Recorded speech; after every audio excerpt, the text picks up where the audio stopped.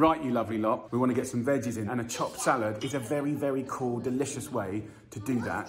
Buddy's going to show you how to do it. We've got the more predictable salad leaves here. Um, you know, anything you've got. I've got a bit of watercress, a bit of gem, romaine, but also you can get things like broccoli in there as well. So, Bud, show them the cross chopping method.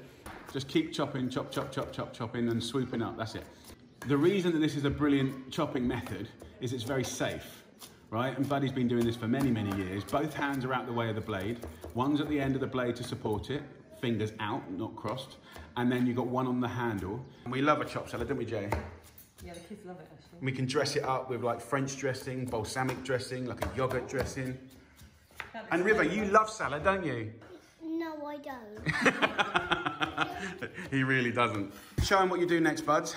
so you, you make a well in the middle. Okay. This is the important bit, guys. You get a heat teaspoon of mustard. Yeah, so that's French mustard. You could use English. That's probably enough, my friend.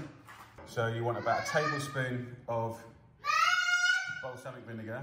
Buddy, a river, stop shouting. We're trying to make a cooking show. Then you want about two tablespoons of nice extra virgin olive oil. So then you just mix it all together and keep on chopping.